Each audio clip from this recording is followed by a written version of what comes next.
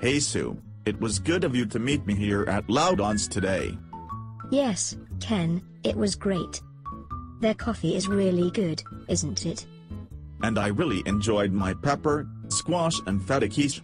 And your celeriac and chive soup was pretty good too, wasn't it? We must do this again soon. Ken, it was a pleasure. I think Loudon's is the best.